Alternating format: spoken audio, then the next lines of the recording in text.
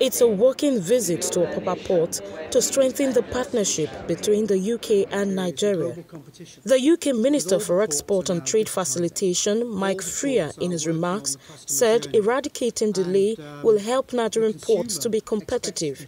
We can work together on improving, eradicating the delays, improving like the customer journey. That will help Nigerian ports to remain competitive.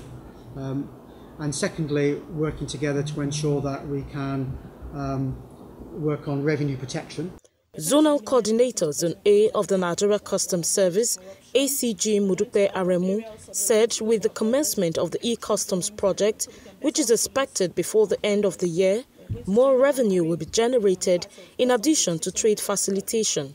With the e-customs project, we're having 60 scanners to be deployed along all the ports, the land and the sea borders.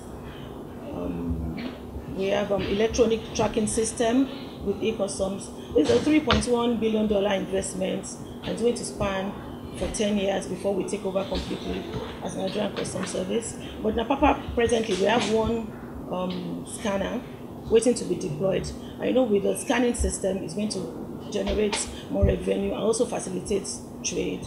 Managing Director, Nigerian Ports Authority, Bello Koko, represented by the Executive Director, Marine and Operations, Onari Brown, in his address, appreciated the minister while emphasizing on government's resolve to diversify the economy through non-oil exports. With the desire of the government now to diversify the economy from oil, so much attention is put in uh, agro products for exports and we are glad to receive you here at this time when we are looking in that direction.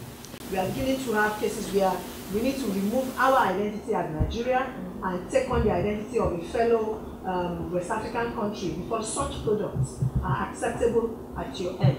So we are hoping that this can be redressed so that when it comes from Nigeria, let us take credit for what we are sending out of the country. The federal government's drive for digitization of port processes will not only facilitate trade, but will also guarantee revenue growth and ultimately pave way for a stronger economy. Lucy Lugbe, NCBN News, Lagos.